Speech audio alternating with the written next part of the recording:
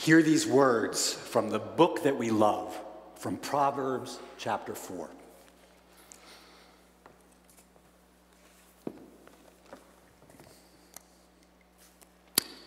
My child, my child, my child, be attentive to my words, listen to my sayings. My child, my child, my child, pay attention to my words. Do not let them escape from your sight because you need to keep them in your hearts. They are life. They're hard to negotiate, these words. uh, they are life to all who find them, and they are health to all their flesh. Up. Like this. Okay.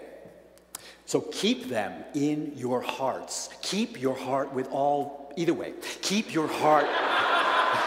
That's good. Keep your heart with all vigilance, for from your heart flow the springs of life.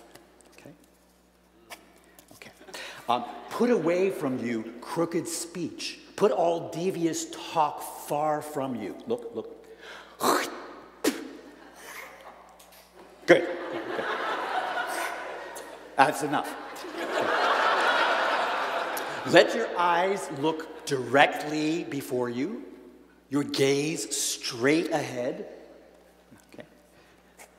Uh, keep your feet, uh, sorry, keep straight the path of your feet, and all your ways will be sure. Keep straight the path of your feet, and all your ways will be sure. Keep straight the path of your feet, and all your ways will be sure. Keep straight the path of your feet, and all your ways will be sure. March, keep straight the path of your feet, and all your yeah, do not swerve to the right, do not swerve to the left. Eh, eh, eh, turn your foot away from evil. My children, keep your hearts with all vigilance, for out of them flow the springs of life. This is the word of the Lord.